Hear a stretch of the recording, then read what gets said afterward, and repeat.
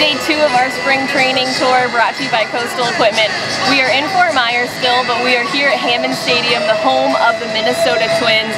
They will face the Red Sox today. We were just over at Fenway South, so today we're excited to be here at Hammond Stadium.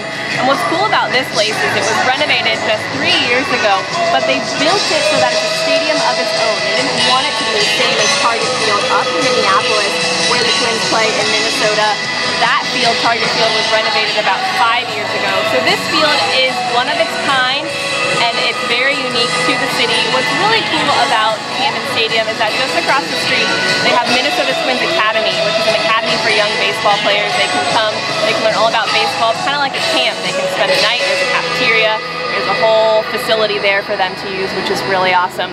But today we're excited to be here. They're going to play the Red Sox. We were just over there yesterday, but we're excited to watch them again today. Make sure you head to 1010xl.com to check all the interviews we get from today's spring training tour.